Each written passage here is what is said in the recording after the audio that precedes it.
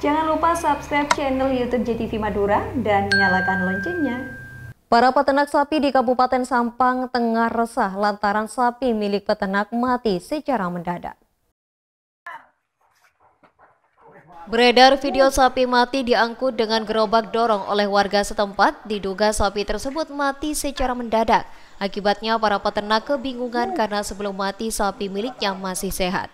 Diketahui kejadian tersebut terjadi di Dusun Kara, Desa Jeruk Porot, Kecamatan Torjun, Kabupaten Sampang, Madura. Pasalnya sudah lima sapi yang mati karena penyakit tersebut. Saat dikonfirmasi ke Dinas Pertanian Kabupaten Sampang, Suyono menjelaskan bahwa sapi tersebut mati karena terkena penyakit bovine ephemeral fever atau BEF. Penyakit ini disebut juga sebagai demam tiga hari yang merupakan penyakit sapi yang bersifat akut disertai demam dengan angka kesakitan yang tinggi, akan tetapi angka kematiannya rendah. Kejadiannya sebenarnya di daerah lain sama, artinya di mungkin di Indonesia juga sama, di Sampang pun di kecamatan lain juga terjadi.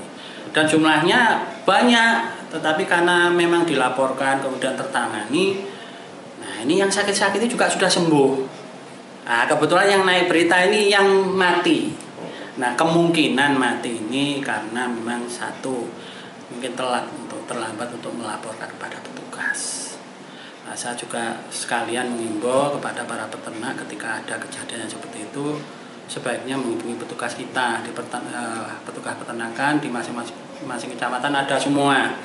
Kemudian yang kedua juga karena memang ini vektornya itu nyamuk sehingga ini lebih kita berharap para peternak itu menjaga kebersihan kandangnya sehingga nanti nyamuk itu tidak berkembang karena ketika nyamuk ini berkembang kemudian mereka itu kena virus ini, nah otomatis atau uh, kondisi kondisi apa tubuhnya itu lagi lemah, uh, penyakit ini masuk, ya itu yang terjadi. Tetapi itu pun sebenarnya masih bisa ketika mereka uh, melaporkan kepada petugas. Karena bagaimanapun ketika melaporkan petugas, petugas lebih tahu uh, untuk penanganan itu. Selain itu, Suyono menjelaskan bahwa penyakit ini merupakan penyakit tahunan di setiap masuk musim penghujan.